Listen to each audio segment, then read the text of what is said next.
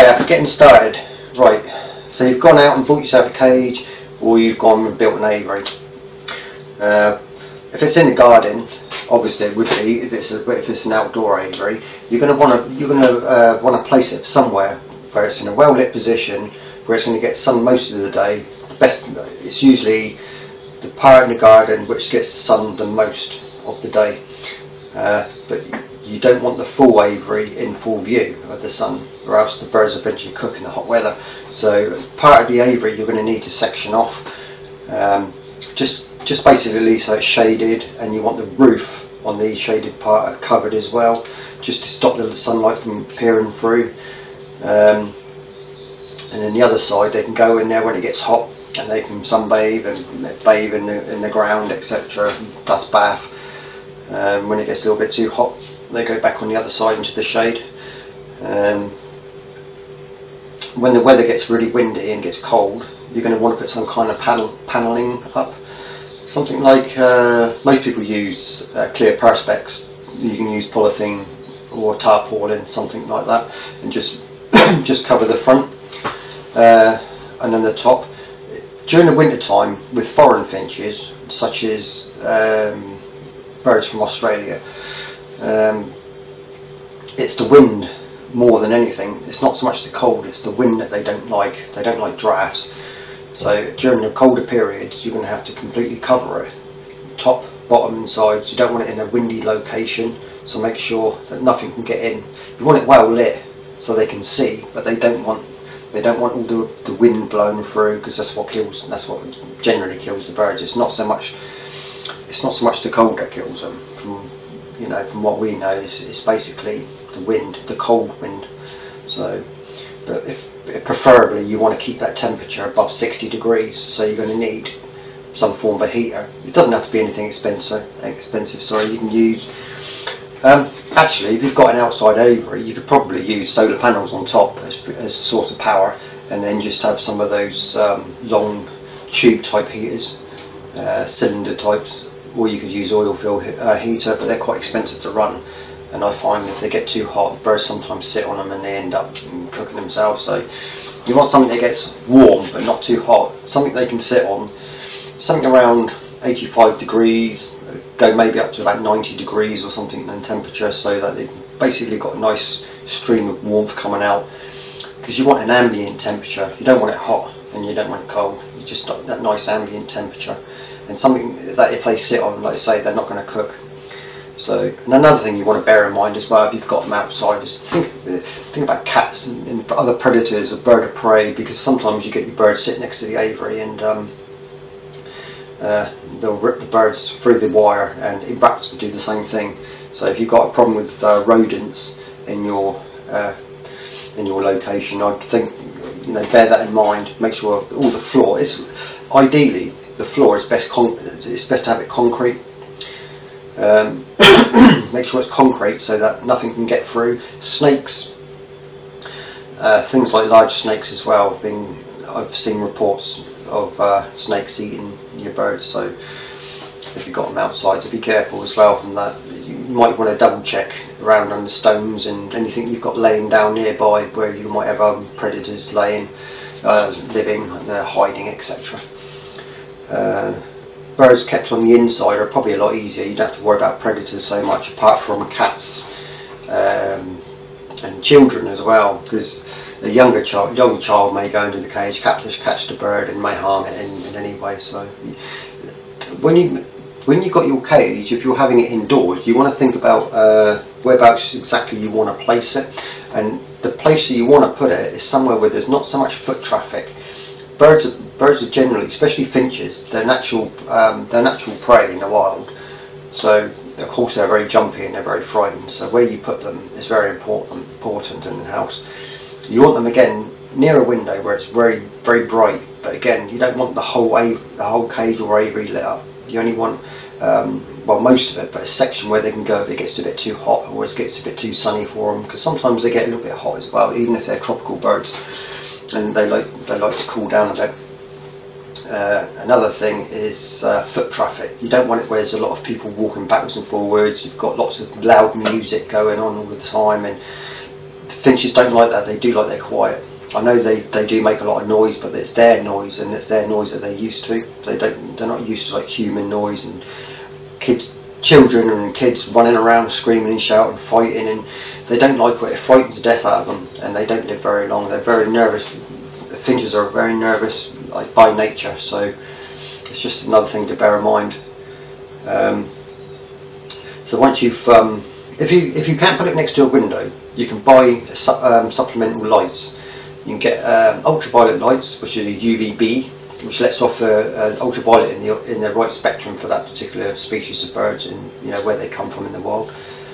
Uh, they're not really cheap. They're, they're not cheap to buy, I don't think, but they're certainly not that cheap. Um, expensive to run. They're very quite they're quite cheap really to run, and they can last. Uh, a good bulb would probably last six months or a year. So, I mean, depending on the size of the bulb, the, the wattage, it's, it's all important, and the type of bulb. So, um, I normally go for a fluorescent um, 18 watt bulb. It's about three, about three foot, two foot, two. I think it's actually two foot, um, and that would probably do a three foot cage, no problem at all, no problem whatsoever.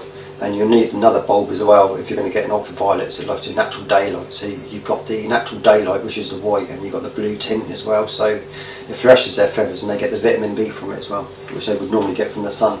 They're not as good as the sun, obviously. Nothing beats nothing beats natural daylight, but it's better than nothing.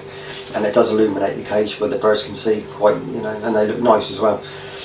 Um, so if you've got all your cage and you've got your location and you've got an idea where you where you want to put it, the next thing to do before you put your birds in there is um, set the cage up. You need to think about what perches you're going to use as well. I mean, I know that most cages come with perches already, or you get the dowel, which you can buy cheap dowels, which are well, whatever length you want really, whatever thickness is. But I don't really, I I wouldn't say have them all the same thicknesses. I usually, if I have a dowel, I will cut chunks out of it here and there and kind of rub it down with rough um, with a rough sandpaper because you don't want it all smooth. It's not good for their feet. They like the rough textures, and in fact, they like different textures, and they like different lengths on their feet. Um, if the birds end up with the same thickness all over, all through the cage, wherever they stand, eventually they get arthritis in their feet, in their feet, in their claws, and etc. And it is, well, not their claws, but in their feet. Um, and it's not good for the bird at all, especially later on in life. It doesn't it doesn't affect them straight away. It's when they're a bit older they get problems. They can't stand properly and they can't they end up falling off perches, etc. And they can't move their feet because they've got arthritis or you know cramps and that whatnot. So and I always I always go for branches. I take all the dowels out, all the natural these plastic perches. They all look nice and they're easy to clean, but they're, they're just not good for your bird. You want natural natural branches something from a fruit tree, like um, an apple, apple tree branch, plum, stuff like that is normally quite good for the bird. Really, I've always found, and they have quite various textures all the way through, and they have different thicknesses as well. So, I mean, there's, as I said on the, I think it's in the last video. Um, you can look online if you're not sure which branches you can use, which you're worried about if it's safe, if it's not safe. So you can get to find out what branches you can use. Another one you can use is branches from um, bamboo. the only problem is bamboo is very safe, but the texture is very smooth. It's a very smooth texture, and you normally find it's, it's kind of it's the same diameter all the way across, so it's all right. I mean, you can use bamboo. I mean, it's safe for them, but I don't really like using bamboo if I can help it. I do have some in my aviary, but I try not to put too much in there. I like the normal branches um, uh, conifer, um, normal ever, evergreens. You can use probably pretty much most branches from those as well. I've never had any problems with branches from evergreens, and the birds don't mind pecking on the on the little buds, etc. Or um, the bark doesn't do them no harm at all. I've never had any problems with it, and um, you get some nice textures on there, and quite some nice long lengths as well. And some of it can be quite bushy, and sometimes I actually leave the leaves on there as well, so because it's quite a nice smell. I like the smell of it, and it doesn't bother the birds. Uh, where you place the branches, you're going to need you're going to need more than one. Definitely, because birds obviously need to fly perch to perch and not hop. They need to fly from perch to perch. And um, I, I like to put a few on one side and a few on the other, not just one on each side. I like to put a few because they like to hop around and, and then fly to the other side and have a little hop around, etc. That's what they like to mooch around. They don't want they don't want to be in a cage where there's nothing nothing to stand on. They, they need lots of perches, etc. So they can play in and out. Um, you want to make sure your drinkers, your feeders are nice and clean, and then you organise them, put them where you want them, fill them up with your food and their drinks. Uh, put your cuttlefish in there, your cuttle bone. Like I say, you don't really need a whole one, just put a bit in there. Um, you can get mineral blocks. I don't really like mineral blocks as a rule. There's a lot of complications with them, lots of complications with them sometimes because of the ingredients and I don't know, they're just not that great. Um, toys such as uh, they don't like finches don't like colourful toys where it's like, like like things you'd give a dog or a cat. I've seen it so many times. So the things you give for a budgie or a, a parrot, they're, they're, finches. They're not they're not hookbills or anything like that. They're completely different species. They like dangly things. They like um, like get yourself a nice bit of hemp uh, hemp string, tie one in to a branch where it overhangs onto another branch, and from underneath they will pull it, and it's good exercise for them because they're tugging at something. And hemp is totally harmless to them anyway and it will last for ages, and it's not likely to do them any harm. Um, eventually, they'll probably pull it apart, and there's nothing left. And of course, you have to take it out and just put a new one in there, and it doesn't cost anything. But don't don't use things like um, nylon string or anything like that because it's nylon. It can be a nightmare. They get it all tangled up, and then get it tangled around their feet, and then they're going to have problems. Uh, then you're going to want to put your flooring in or your substrate for the floor. Some people use uh, astroturf, which is fake grass. And that's good if you can get a good quality one. And the good thing about it is it's very easy to clean. And then you wash it, hose it down, or you can put red hot water over it just to sterilise it, whatever. You can bleach it as well. And then you put it back in when it's all dry. And it saves having to keep buying new materials. And you, it's also good as well because if a bird falls off on the, over, overnight, it falls onto a nice spongy surface, so it doesn't hurt himself. And uh, so um, yeah, it's quite cheap anyway. As long as you don't, if you get the bigger the, the bigger the cage, obviously the bigger the piece and the more expensive it's going to be. It's not really cheap, but I wouldn't have thought it was that expensive. But it's worth the money in the long run because if you're going to keep buying wood chips or whatever you want to use as your substrate, it will cost you money eventually.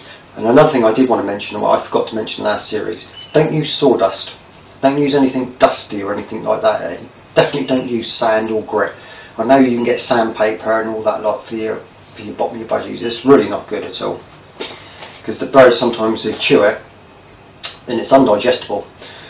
They can't they can't digest it because it's glass. And what happens is that the gizzard the gizzard stones which are in their in their uh, neck, which is used to grind down all the food, they start grinding down the glass, and of course the glass actually it doesn't grind the glass, it actually, the glass grinds the gizzard stones and it wears them down. Eventually it gets to a point over years that um, you have to force feed or hand feed the bird because the bird has got no gizzard, gizzard stones left to crush any food down so it can't digest anything.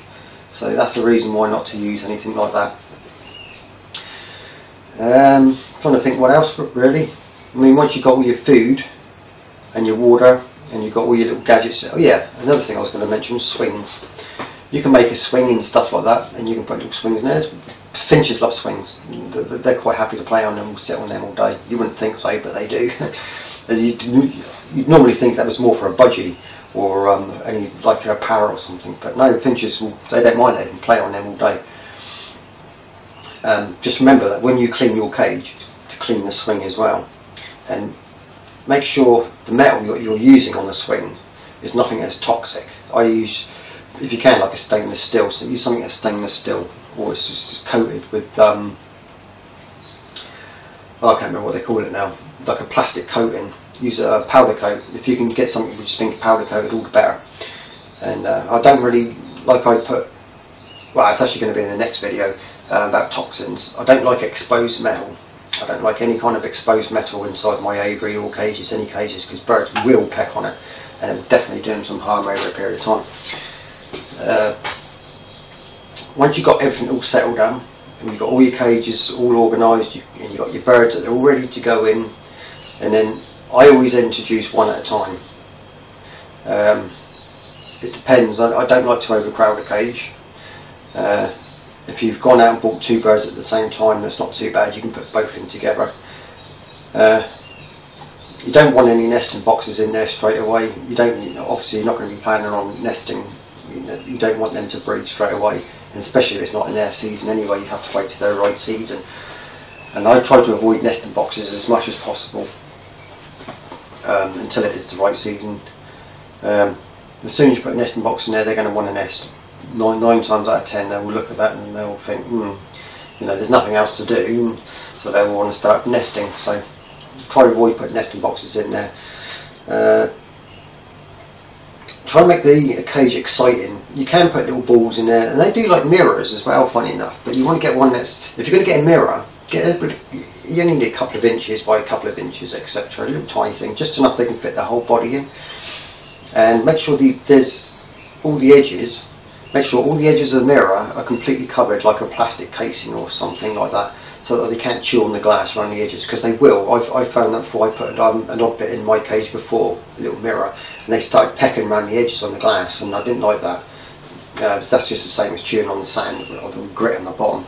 So I had to get take it out and I had to put one in there with a plastic case. But they do look, they do enjoy looking at themselves, admiring themselves in the mirror.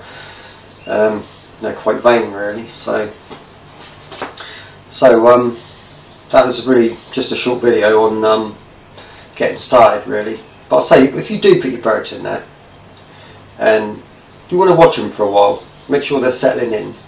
Make sure there's nobody running around. Keep them, keep your cats, keep your cats away. Usually, cats and birds are just they just don't go together. Cats should know you shouldn't really even have birds if you've got cats. Um, some smaller dogs, etc., will probably want to have a go or be interested, and other other little pets that you might have. Just keep everything away from them. Let them settle in, and it usually takes takes about a week or so. Then they start getting they they they begin to know their routine, and birds learn very fast. They, in fact, they probably learn a hundred times faster than what we do. So, just to um, let them know what their routine is going to be, their feeding routine, um, their bathing routine, you know, and when when you're going to put them to sleep and when you're going to wake them up in the morning. To, if you're going to keep them indoors, put, try and get a light timer as well, so that the light comes on at the same time every morning and it goes off at the same time every night. And if you have to at night time, if you've got like a television that's glaring or something, another light, just just on the on the cage itself, don't cover the whole cage because they don't like being in pitch black. Just cover the top part. Just put the towel down so if your perches are about halfway up, put the towel so it goes down to about halfway, just so it just so it reaches the perch. So the bottom's got light and the top half's covered, because if they do fall off the perch, they want to get back on that perch, and if they can't see it, they're going to panic. They don't like being on the floor. They feel in danger. You know, they feel in danger all the time. So make sure that they can fly back onto a perch if they do fall off, because it's quite common. Birds fall off perch in the middle of the night, and uh, they can't find their way back up. They do panic. So make sure that when you cover it, you only cover half the top half of the cage, not the bottom half. Even if it's an aviary, I, I mean, inside my front room, I have a 12 foot long, 4 foot wide by uh, 6 foot high aviary. And when I cover them at night, I cover all the top half. The bottom half is just exposed. So that at night time they don't get the light, the glare from the TV uh, or any of my, my lights that are on. You know, they can see the light at the bottom, but they can't see the light at the top. It's all it's all darkened, so that they can get a peaceful night rest because their resting period is very important. And they need re- really in the daytime, depending on time of the year, they need more sleep than others. In the winter time, obviously, they're going to need more sleep. I mean, mine sleep for about about 13, 14 hours during the winter time, but during the summertime, it's much less than that. It's something like um, 10, 12 hours or something like that of sleep. The rest of it's daylight. But make sure you keep the intervals the same. They wake up the same time every morning, they go to bed the same time every night. That way, when you're about to put them to bed, they'll automatically get tired just a little bit before, and then they'll start going up to roost. And they know that you want to come along and cover them over because the light's going to go off, etc. And they'll be ready before you are. Uh, and the same thing when they get up in the morning, they'll be they'll be waiting. They know they have like an inbuilt clock and as soon as you, as soon as you, you know, go to put the light on and wake them up, they're awake just moments before, waiting for you to wake them up because they know. So that's important. And uh, obviously, with the seasons, they change every year. So as the seasons, as the seasons progress, every couple of weeks, you may need to adjust the clock, adjust the timer a little bit. That's all you have to do. And then um, every every couple of weeks, just add 10 minutes on or something to the time, or take 10 minutes off according, you know, to the time of the year. So anyway, I can't think of anything more to add to this video about getting started. But I will say one other thing again. Make sure everything's clean all the time. I'm, very hygiene conscious when it comes to your birds, like washing your hands when you handle them, because most of the time when your bird gets ill, it's because you've brought something in on them. You've brought some, you've introduced something into the cage, whether you know it or not. So just make sure you're handling your birds, when you're putting, you're catching your birds up, put them in, give them all their treatments that you need. a bit of mite spray if you've just bought them from a shop, etc. Um, and just make sure you worm them as well. Get, uh, get yourself a nice little wormer, and uh, give them, make sure you give them a good quality seed, or good quality. In fact, give them a really good quality diet all the time. They always need good quality diet, and then uh, you should be alright. You should be all set to go. Hopefully, you'll be waking up every morning with some happy little chirps. So, and thanks for watching anyway, and I'll see you in the next video.